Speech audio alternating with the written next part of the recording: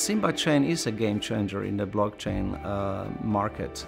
Blockchain is like a distributed database or distributed ledger uh, to which you can write transactions and once you write them you cannot change them. Not, no one can change these transactions including you and this is very important for especially in transactional world.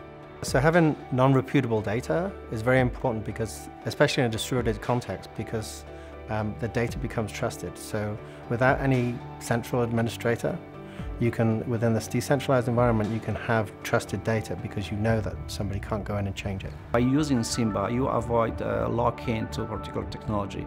You can actually uh, connect your applications and run your applications on any blockchain. Second, you save lots of time. I mean, we provide a very high-level API that lets you build uh, blockchain applications in basically minutes.